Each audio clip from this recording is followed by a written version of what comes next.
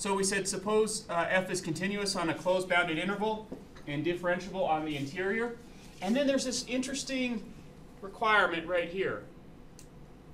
f of, f of a is equal to f of b. What is that saying? Yeah, the y values at the endpoints here have to be the same. Now, there's not a lot of functions that behave that way. I'm thinking of a function that maybe, you know, goes up and then comes down, and that's at the same height there, or something like that. Okay, that's what we're saying here for Rolle's theorem. That's a very strong restriction, uh, and so it, it's uh, only only a few functions will actually will that apply to, but uh, we'll see that we can actually tweak this result when it comes to the mean value theorem. Okay? So here's the result of Rolle's theorem. Suppose you've met this condition, this condition, and this condition. Then, and this is what's called an existence theorem, there exists a C contained in that open interval so that f prime of C is equal to 0. So we're, we're saying that if you meet these three conditions, you are guaranteed to find at least one C value on the interior where what?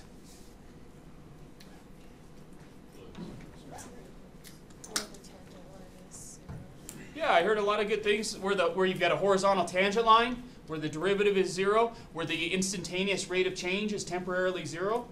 Okay. Um, so here I give uh, a little statement about Rolle's theorem. I think that it connects two intuitive notions regarding the two intuitive notions regarding continuity and horizontal tangent lines.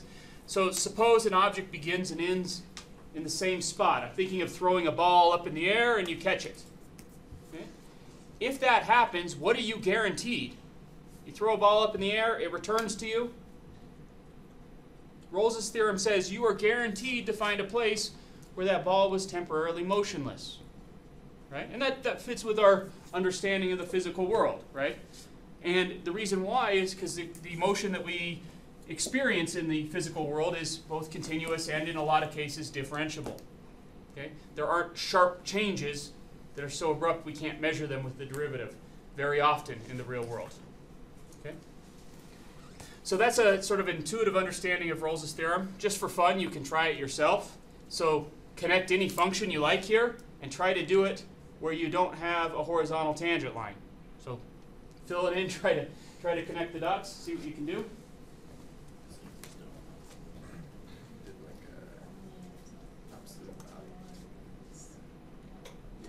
Ooh, good, great question. What was that? I just drew an absolute value. Ah, I guess that wouldn't make that difference. very good. So Coyle, uh, Coyle said, hey, what about this? That's continuous. It started into the same point. It doesn't have a horizontal tangent line. Does that con contradict Rolle's theorem? I hope not. If Rolle's theorem is broken, then all of calculus is broken. I'm out of a job. You get to go home, and there's no more math. So I hope not. What, why doesn't this contradict Rolle's theorem? James? Because it's not differentiable. Ah, we added that it had to be differentiable on the interior, meaning the derivative had to exist everywhere on the interior. So that's a good, you're thinking of the right sorts of counterexamples to these. But it turns out, nope, it's, it's pretty robust. It'll hold, it'll hold your, under your scrutiny. Okay? So yeah, so this one, this one, Rolle's doesn't apply.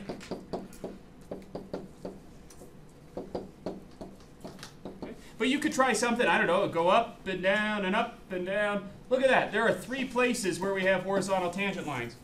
That doesn't contradict Rolle's theorem. Rolle's theorem said there's at least one place. Okay? Let's be very clear about Rolle's theorem's prediction. It's saying that there exists a what value? A C value. So I'm referring to something like this right here. That's C1. Because why? What would be f prime of C1? The derivative, the slope of the tangent line at that point would be 0. Okay? And Rolle's theorem says there's no way to get from this point to this point without having a horizontal tangent line. Try it. Okay? Please, if you find it, class is over. All right, so let's try to prove, prove Rolle's theorem here. What we're going to do, and I'm going to run through this a little bit quick because it's really just a means to an end. We're trying to get to the uh, the mean value theorem. Uh, so we're, we're going to look at three cases. Case one, f could be a constant function. Okay. Well, if f is a constant function, what's its derivative? Zero. And let me be clear. Um, I'm writing f prime of x is equal to zero on the entire interval from a to b. Okay? So everyone pay attention. I didn't put f of x naught or f of d or f of some value is equal to zero. It is the derivative is math people would say it's identically equal to zero. No matter what you pick for x, it's going to output a zero. Okay? So it's identically equal to zero, not that there's some point where the derivative is zero. But if that's true, then any C contained in AB satisfies Rolle's theorem.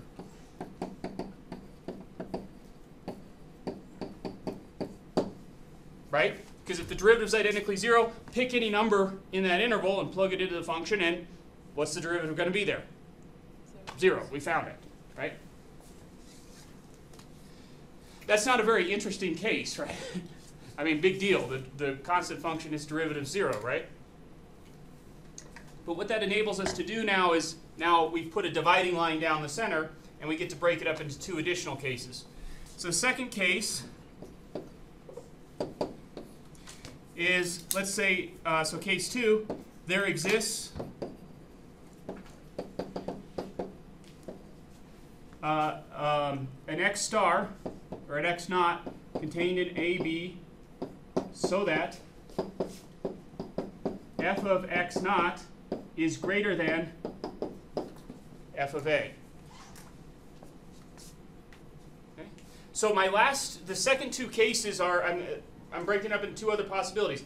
Either it's a constant function, or there's at least one instance where the function rises above its initial value. Or there's at least one instance, and that'll be case three, where it drops below its initial value.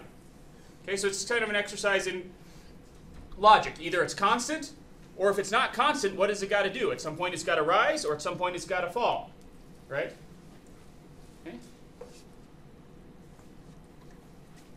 By the way, um, I'm just I just need that much. That's enough to say what I want to say. But notice that would also mean that f of x naught is greater than f of b. How come? Yeah, the, the assumption of Rolle's theorem is that f of a and f of b are the same. Okay, but it's enough for me to just find, I just need to say that at some point we're higher than where we started. Okay? So, we know that f has a global maximum. How do we know that f has a global maximum?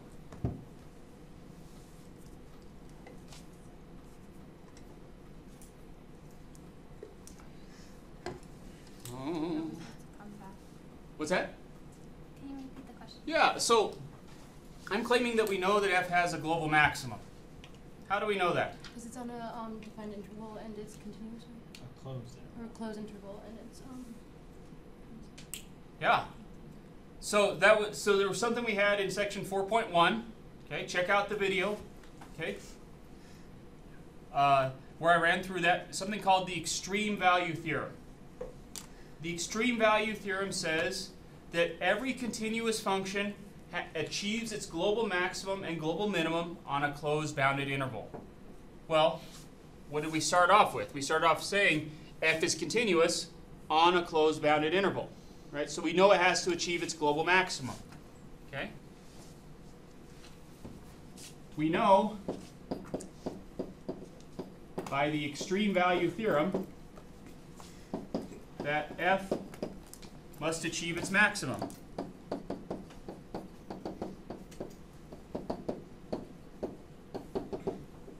Where can that maximum no longer be?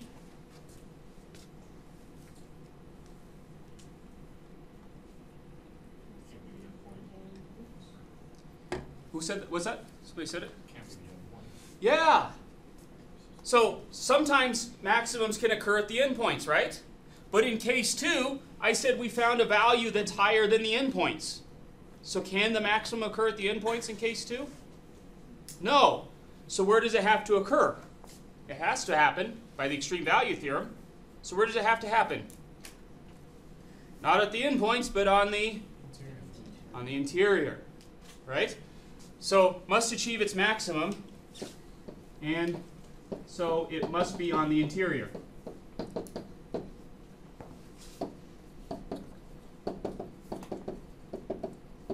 Okay? Again, because we, we said in this case we're saying it rises.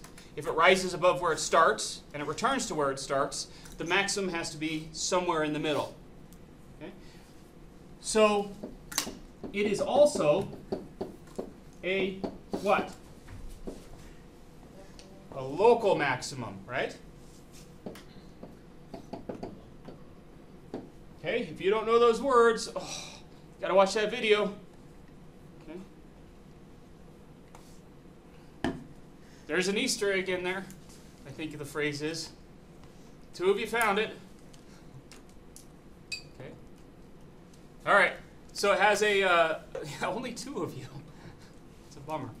Uh, so it has a local maximum. Okay.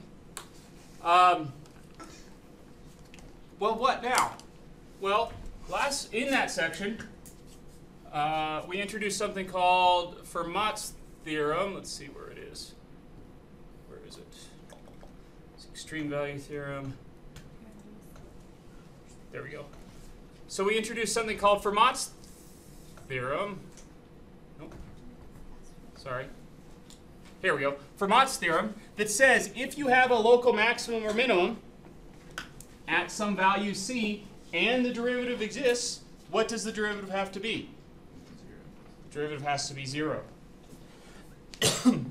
well, look what we've just said. We've just said that we've got a local maximum. We've just said that f is differentiable on the interior, which means the derivative exists everywhere on the interior. So by Fermat's theorem, or Fermat,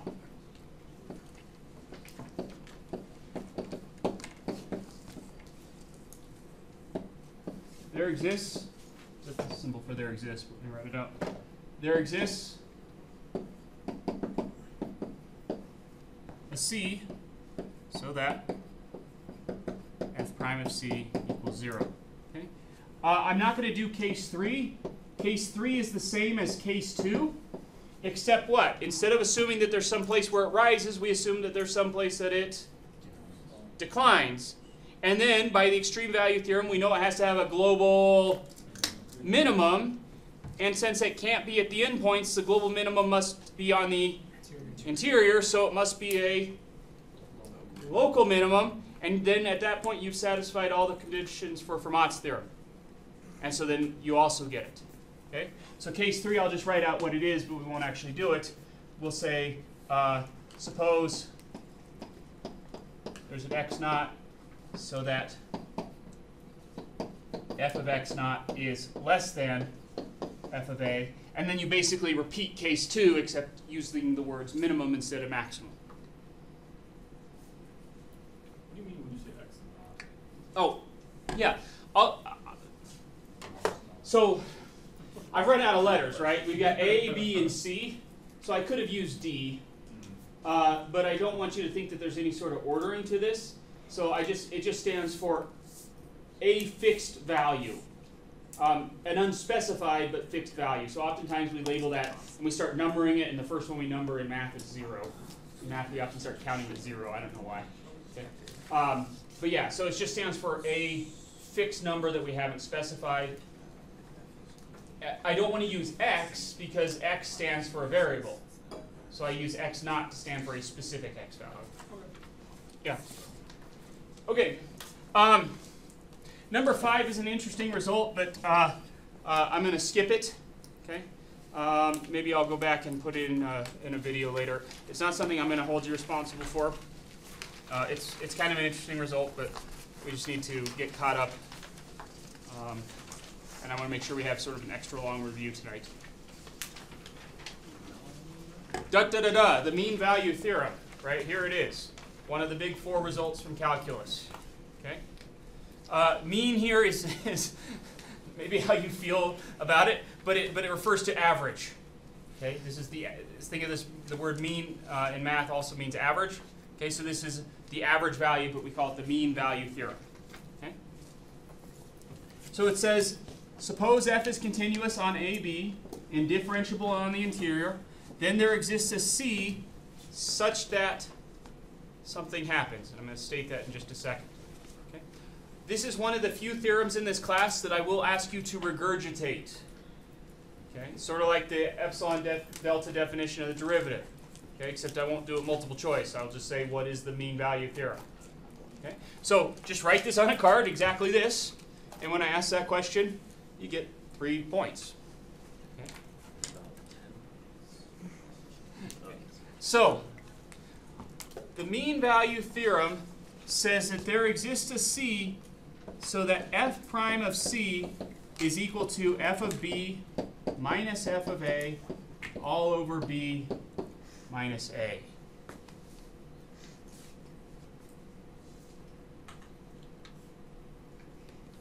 Did that change your life? I don't know. Please just have to know the equation. No, not just the equation. So I want you to know the equation. You need to know it, but you also need to know the conditions which which need to be satisfied for this to hold. Right?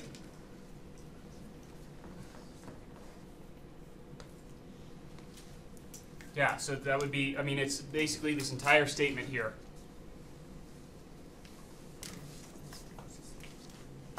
What's that? Where? Where? All right. Let's start parsing this out a little bit. What is this piece right here? Kevin?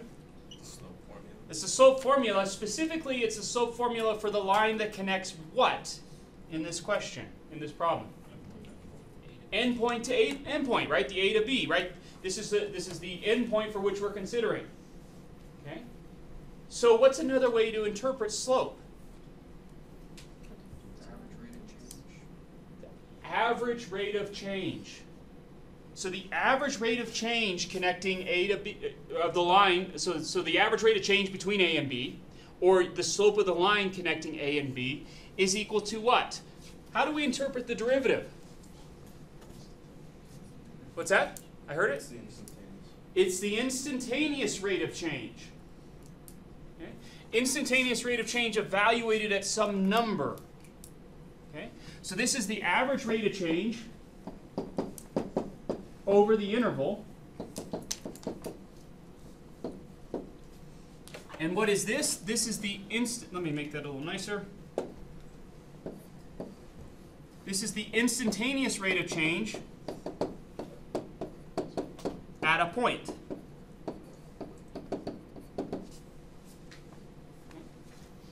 The mean value theorem guarantees that there is a place where the instantaneous rate of change is equivalent to the average rate of change. Now, you may not be too excited about that result. That's perfectly fine. You have to know it. I would argue that one of the reasons why it's not a very exciting result is because it describes something we all intuitively have realized through our life. Okay? What this says is that there is a so so let's go ahead and look at this uh, physical. We'll, we'll keep talking about it here in just a second, but let's look at number eight. A physical demonstration of this is that let's say your average rate of change. Let's say you've got a car that's averaging 50 miles per hour over you know between t equals zero and t equals five. It averaged 50 miles per hour. Then the mean value theorem guarantees what? There must have been at least one point in time where you were traveling what? Exactly 50 miles an hour. There must have been one point in time where your instantaneous rate of change was 50 miles per hour. Okay? And that's that sort of connects together this notion of a rate of change, instantaneous rate of change, and continuity. It puts the two together. It says there's no way for you to go from zero uh, to average 50 miles per hour if you know you started out going zero and then you're going 60. At some point, you if your average was 50, you had to actually travel 50 miles per hour. Okay? Now we all understand that because that's how the world works. Because motion that we that we perceive is usually continuous. Okay? By the way, um, for those of you who've done physics, uh, th- that issue of continuity, I, I think I've come up with a kind of interesting way to talk about what's, some, what's called the wave particle duality. Have you guys heard this in physics? Uh, it doesn't. If, if you haven't heard it before, uh, it's, it's a statement that wave, that light sometimes acts like a wave, and sometimes it acts, acts like a particle. To me, from a math standpoint, that's saying sometimes the motion of light is continuous, and sometimes the motion of light is discrete. Okay. Anyway, that's that's kind of where these physical ideas get represented in mathematics. All right. Uh, so again, an interpretation of this is that there is a place where the, and here I'm just because it's up there, but the instantaneous rate of change matches the average rate of change.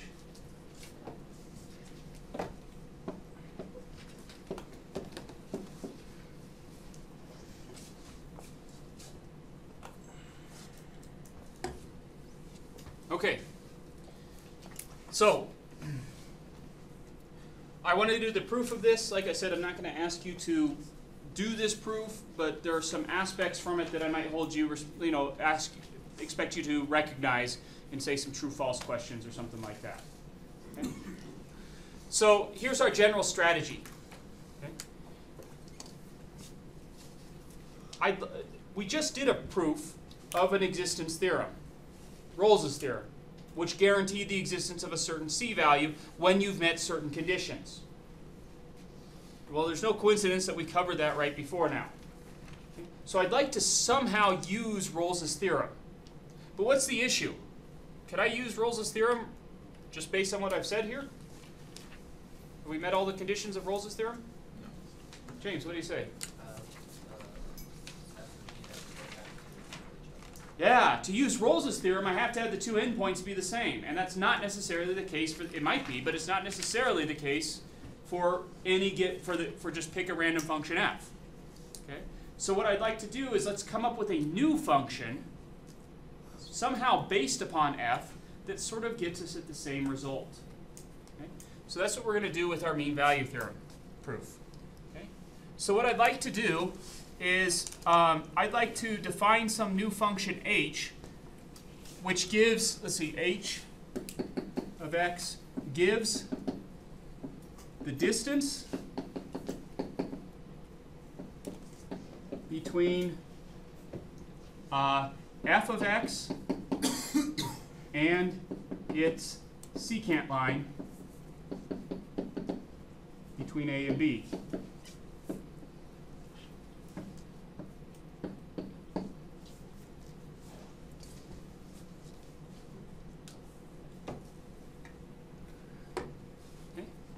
So let's look at that. Let's say I've got, uh, here's A, so this would be f of A, and maybe over here I've got B, and up here I've got f of B.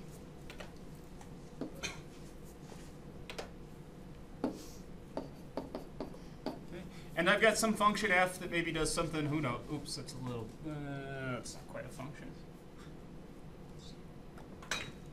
Maybe it does something like this, like that. Okay?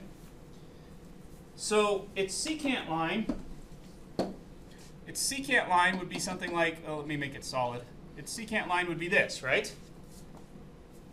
So I don't know who came up with this. I think it's a really clever proof.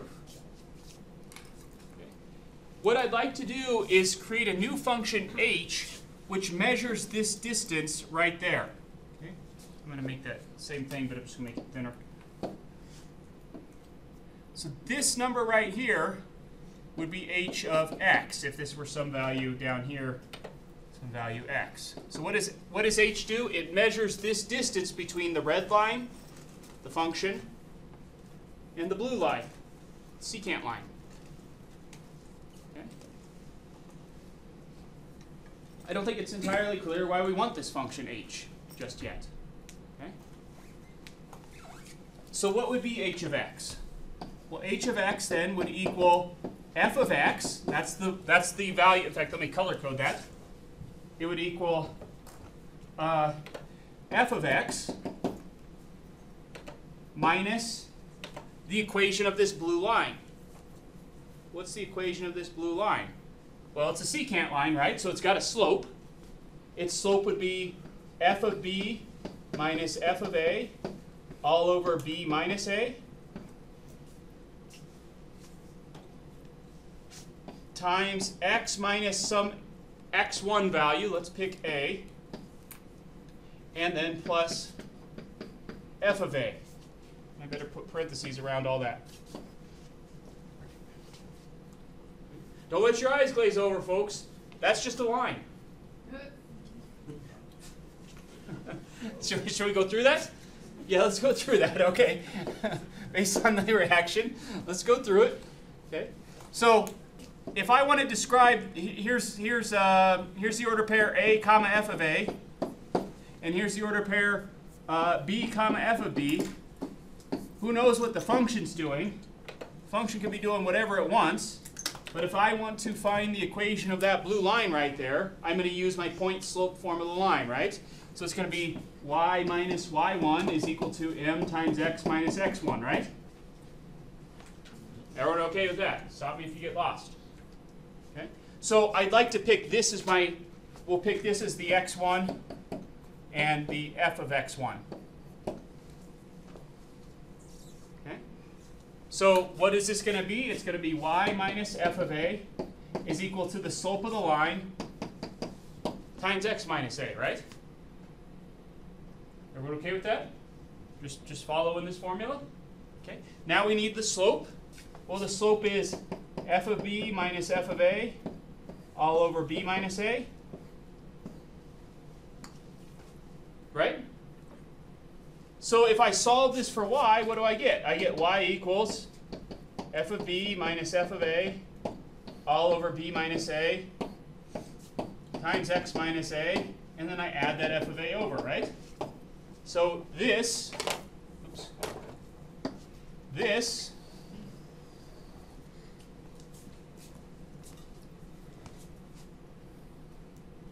is that expression right there.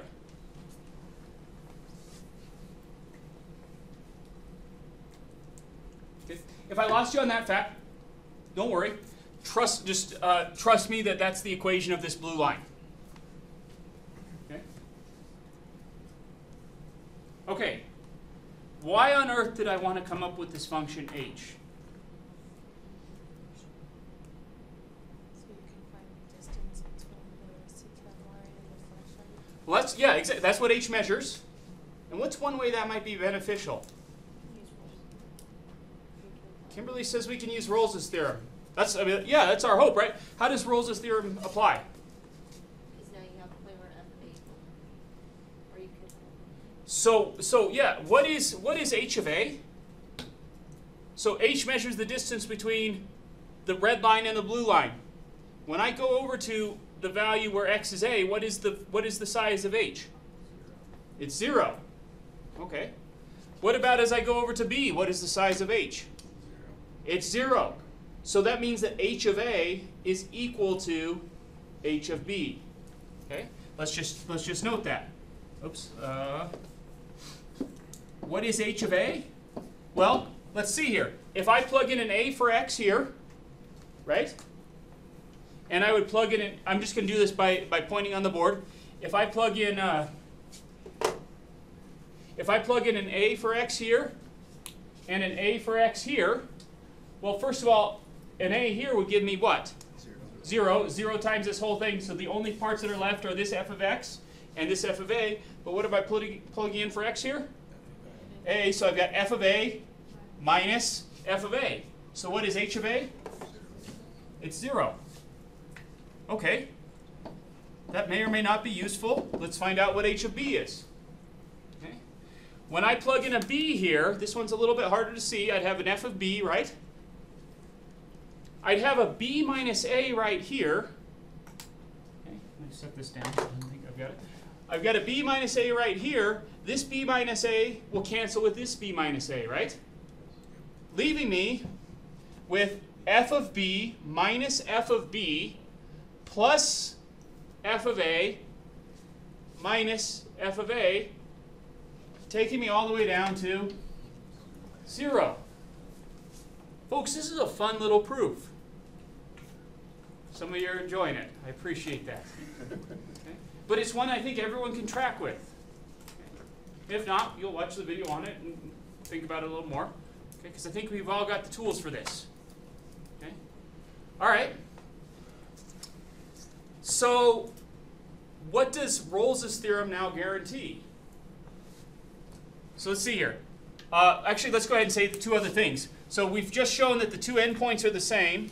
Let's just note that h, oops, no, that's the whole point. h is continuous on AB. How come? How do I know that h is continuous on AB?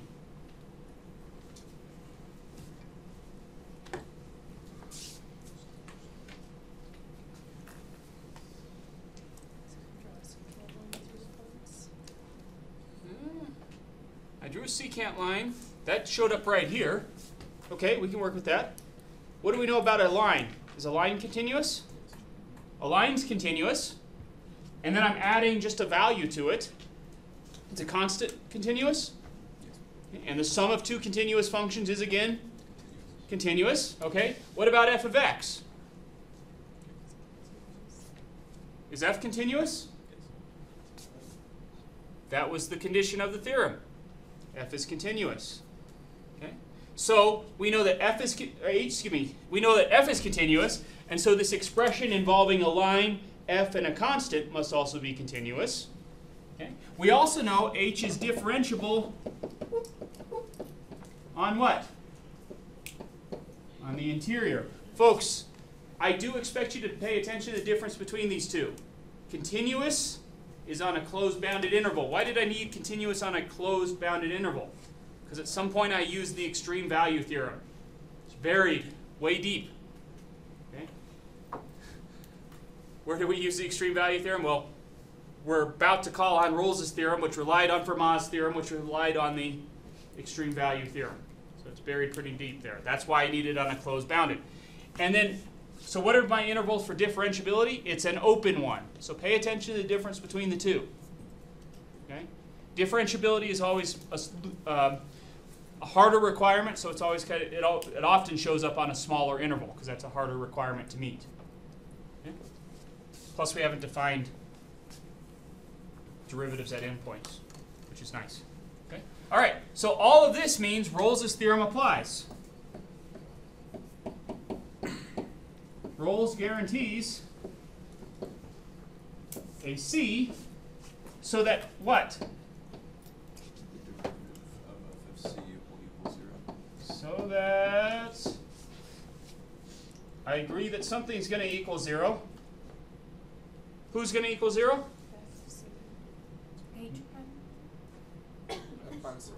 Is it f prime of c that's going to equal 0? We just met all the conditions of Rolle's theorem based on which function? h. So that h prime of c equals zero. That's an h prime of c. Let me clean that up a little bit.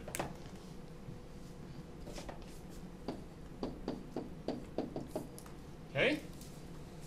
So h prime of c equals zero. Okay. Well, let's go ahead and compute h prime of x. Okay? And I'm running out of room here. Uh, I'll compute h prime of x over here. Okay. Well, first of all, can I can, can I compute h prime of x? Sure. We said it was differentiable. Okay. So what would its derivative be? Well, I'm going to take the derivative term-wise, right? So h's derivative will be f prime of x. Okay. How about for this minus f of a term? What's its derivative going to be?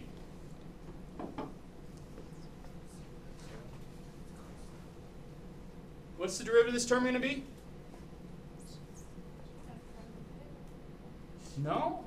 It's a constant, right? It's a constant, right? f of a is a constant. Careful where your x's are, where your a's are. This is just a number, right? What's the derivative of just a constant? Zero. So that term's going to vanish. Okay. What is this expression right here? It's a line. What is the derivative of a line? It is a constant. What constant? No. Zero. No. Uh, uh, uh.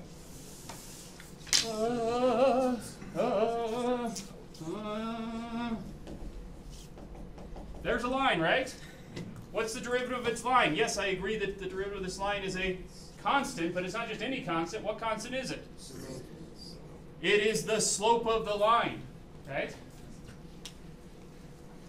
So what's the slope of this line right here? It's this expression right here. Just tell me you agree. It's this expression right here? Yes? Right? Because this is the mx portion. And when I take its derivative, I just get m. Okay? So we get minus f of b minus f of a all over b minus a. But we know that h prime of c has to equal 0. So that tells us that 0 is equal to f prime of x minus f of b minus f of a all over b minus a. Over we're within epsilon of being done with this proof. What do I do next? We're trying to say, there's the instantaneous. Oops, oops. Folks, I made a little mistake here. Actually, a, a serious one. That's f prime of what? f prime of c, because we're finding h prime of c. So everywhere I saw, on x in the derivative expression, I plugged in a c. So this tells us that f prime of c is equal to f of b minus f of a all over b minus a. And that is the result that we were looking for, that the instantaneous was equal to the average. I don't know who came up with that. It's a clever, clever series of proofs.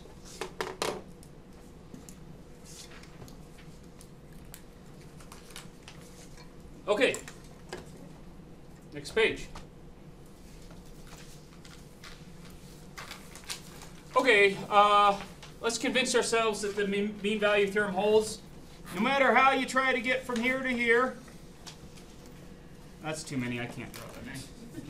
No matter how you try to get from here to there, what is the mean value theorem saying? It's saying there is a place where the what equals the what?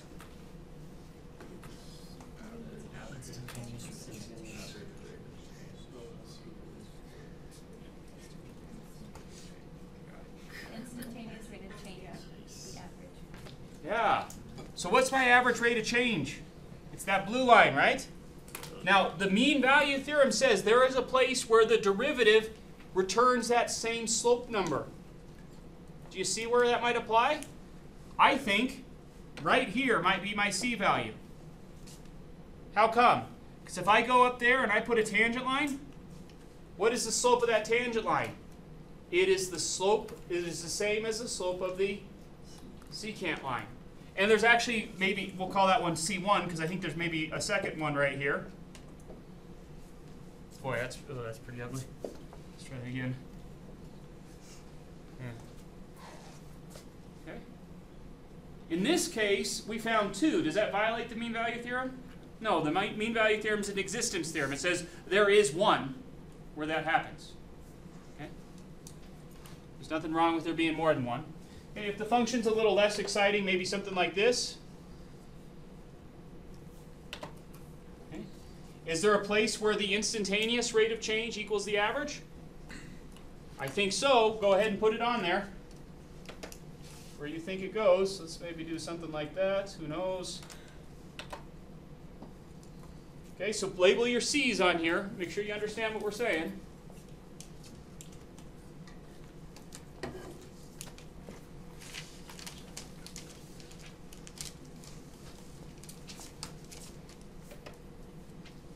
I think the C value maybe, I don't know, maybe right about there. Would that be the C value? Let's see, let's put a tangent line on it. Yeah, it looks like the tangent line matches the slope of the secant line. Now, what is the mean value theorem saying?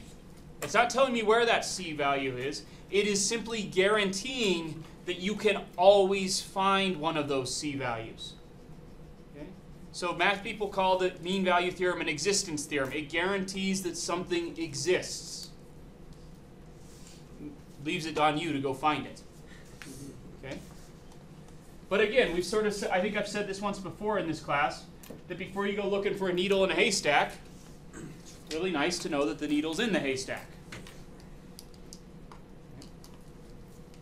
Okay, let's put this into action. So, um, number 11 and number 12, these are the typical types of ways we test people on whether they get the mean value theorem. Okay? So we say find the c value predicted by the mean value theorem. Okay? Before I do that, let's at least pay lip service to the conditions of the mean value theorem. What were the conditions? f is continuous on the interval 0 to 2. Is that true? Yes. Looks like it, yes. The graph looks like it, and, and indeed it is a polynomial function, and polynomial functions are continuous everywhere. So specifically, they're continuous on 0, 2. f is differentiable everywhere. So specifically, it's differentiable on the interior 0, 2. So we have satisfied the conditions of the mean value theorem. Okay. So this is a little bit hard, folks. What am I asking you to do here? Find the c value predicted in the mean value theorem. Okay, let's go ahead and just state the mean value theorem. The mean value theorem would say that f prime of some unknown c is equal to f of 2 minus f of 0 all over 2 minus 0. Right? What is on the left-hand side? The instantaneous rate of change at some point. Don't forget to add at some point. What is on the right-hand side? Yeah, or the average rate of change. Okay? So what is f so before we could actually do this, we need to find two things. I need to first calculate f prime and I need to calculate the average rate of change. And you do those two as sort of separate calculations and then you put them together. And what happens is unfortunately students only ever do one of those two calculations and then they don't know what to do beyond that. Okay? Usually about mm, about about 30% of the class misses this question. So, let's take the derivative. What's the derivative of this function? 3x squared minus 1. 3x squared minus 1. We found, the we, sound, we found a formula for the instantaneous rate of change. Then let's find the average rate of change.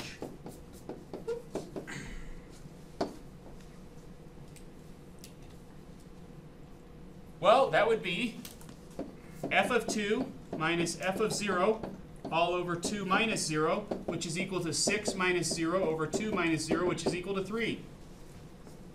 So I found a formula for the instantaneous rate of change. I found the average rate of change. Now what am I going to do? Gonna make them equal to each other. That's, that's, the, that's the step that most people miss. You find the instantaneous rate of change, you find the average rate of change. The mean value theorem says there's a place where they're equal. So set them equal to each other and then solve. Okay? So this is the key step that most people miss with this problem. You're going to set uh, 3x squared minus 1 equal to 3. What did I just do? I set the formula for the instantaneous equal to the average. You could have done all of this without knowing the mean value theorem. Where does the mean value theorem come into play? What am I about to do? I'm about to solve an equation. Do every, does every equation have a solution? Hopefully you've seen plenty of equations that don't have solutions. Does this equation have a solution? Oh, I guarantee it. How come? The mean value theorem guarantees that this will have a solution. Does that make sense? So, a lot of times you go to try to find an answer, and that answer may or may not be there.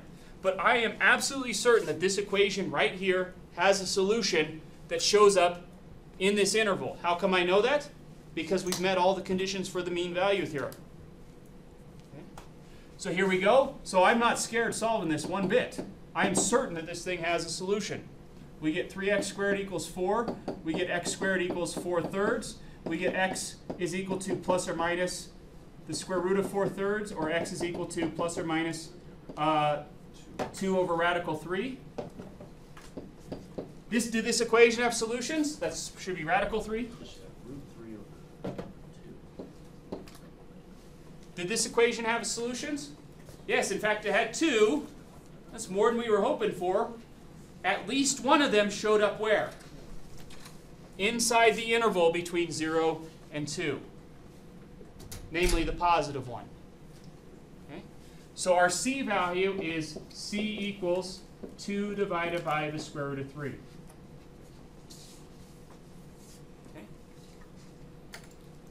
So where did the mean value theorem come into play? It came into play right here when I went to go solve this equation.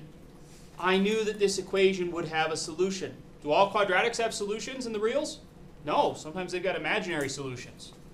But I wasn't scared, okay, because we'd met the we'd met the conditions for the mean value theorem. Does it also come into play in the definition that the average rate of change and the instantaneous rate of change are equal to one another? Well, so it's sort of. I mean, but we could all. I mean, given any function, we can always compute the average rate of change on an interval. Mm-hmm. And given a lot of functions, we can always calculate the instantaneous rate of change. And we could always, if we wanted to, set them equal to each other. But that there, there's nothing without the mean value theorem. There's nothing that would guarantee that would have a solution. Gotcha. But the mean value theorem does guarantee it has a solution. Yeah.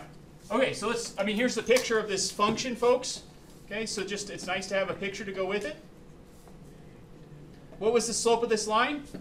The slope of this line was 3.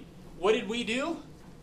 We found a c value, 2 over the square root of 3. What's that? Oh, that's approximately 1.15. Okay, so maybe right about here we found a c value where when I drew the slope of the tangent line right there, that's pretty bad. There's my c value. What's the slope of this green line? It is also equal to 3. All right, so I'd like you to all try number 12 on your own, or in your groups. Try number 12.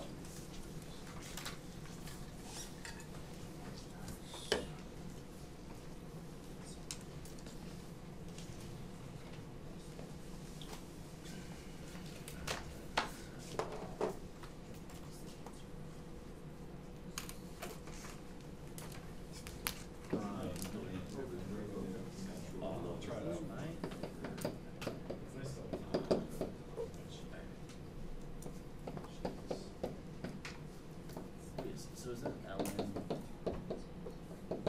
isn't ln minus ln just ln divided by one? You know what I mean, for the log properties? And ln log minus log is just the log of things divided by. Yeah, so you can move the element The derivative. Well, it wouldn't be four minus one, Yeah. it would be four divided by one, so it's just four. Right, I think. So it's just ln four, actually.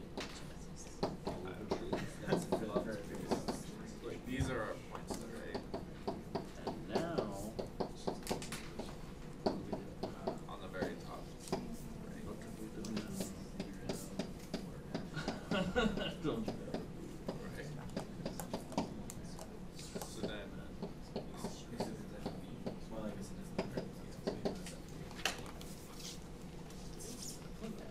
So folks, what have we done so far?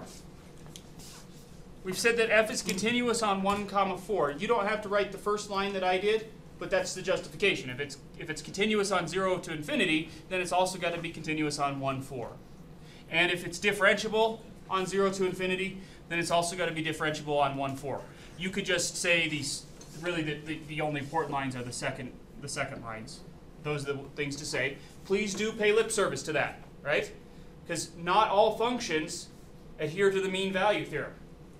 Namely, the ones that aren't continuous or aren't differentiable, where they're supposed to be. Okay?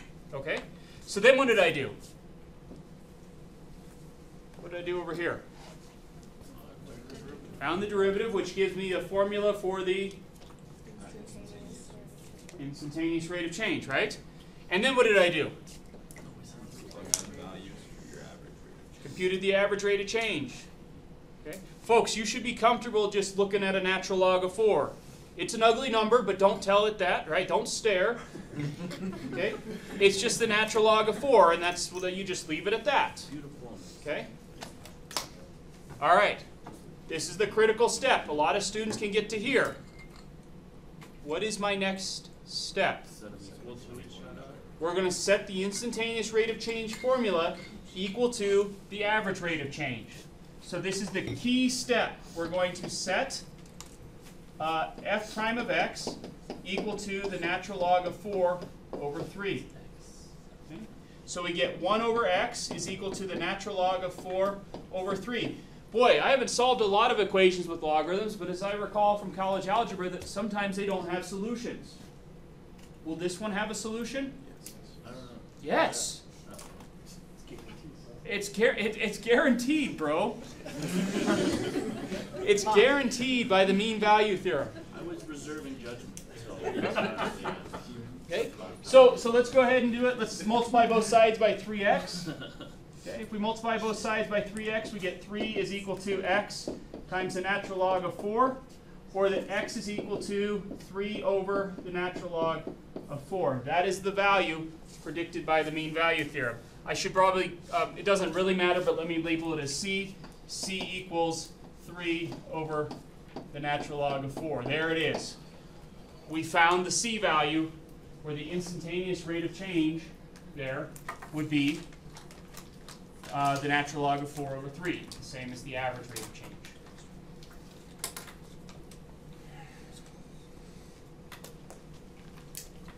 All right. Um, this would be a fun one. To, oh, I didn't say this, folks. For those you go on to more math classes. If ever the instructor asks a question and the class is dead silent, a good a good guess at the answer is the mean value theorem. Just just telling you. Okay? If nobody seems to know what the answer is, just say the mean I think it just don't say it is, just say could it be the mean value theorem? And and four times out of five you're right. Okay? So so in fact, I, I'm not going to prove this one for you, but what would I use to prove this theorem? Is it the um, mean value theorem? Well, you're right. you would use the mean value theorem to prove this. Okay, but let's go ahead and see. I think you all actually already knew this answer. Okay. It says that if the derivative is always zero, then what function did that come from? Sure, continuous function, but we say more than that, be more specific. Yeah. Okay. So we all already knew what is what was the derivative of a constant function? Zero.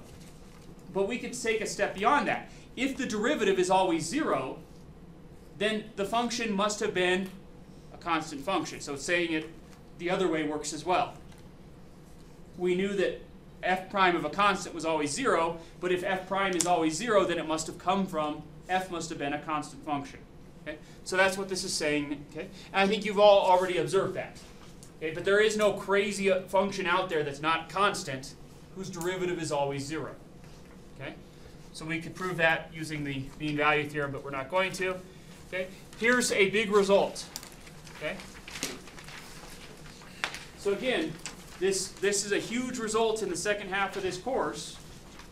For that we will need for the second half of this course, um, and it relies upon the mean value theorem. Okay? It says that suppose two functions have the same what? If two functions have the same derivative, then they must have started out being pretty close to one another. How close? The most they could have differed, well, their difference would have to be a constant. And if that's the case, then the most the two functions could differ by is a constant. And I think you recognize this, so I'm not going to prove this. We're just out of time. You'd use, you'd use the theorem at the bottom of the last page, which relied upon the mean value theorem. Okay? But let's just make some observations. If I gave you the function f of x is equal to x squared plus 27, what's its derivative? Its derivative is 2x.